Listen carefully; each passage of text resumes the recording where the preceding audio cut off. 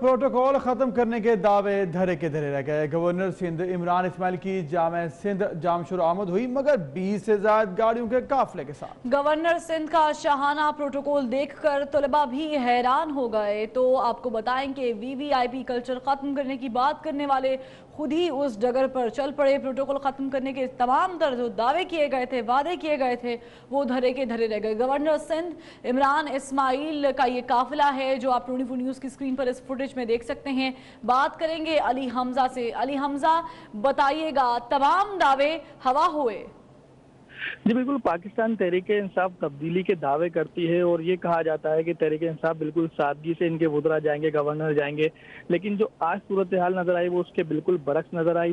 عمران اسماعیل جامعہ سندھ جام شروع میں ایک ایوارڈ تقسیم میں پہنچے تھے، جہاں پر ان کو طلبہ میں ایوارڈ تقسیم کرنا تھے۔ تو یہاں پر دیکھا جا سکتا ہے کہ بیس سے زائد گاڑیوں کے پروٹوکول میں وہ پہنچے ہیں۔ شانہ انداز میں ان کی یونیورسٹی میں انٹری ہوئی ہے اور اس کے بعد یہ فوٹیج بھی منظر عام پر آ گئی ہے۔ تو جو پی ٹی آئی دعوے کرتی ہے اور ان کے گورنر اور وزراء دعوے کرتے ہیں، ان کی کلئی کھل گئی اور ٹوئنٹی فور نیوز نے یہ فوٹیج حاصل کر لی جس میں دیکھا جا سکتا ہے کہ بیس سے زائد قافلوں کا شہانہ پروٹوکول جو ہے، وہ عمران اسماعیل کے ساتھ موجود ہے۔ جی۔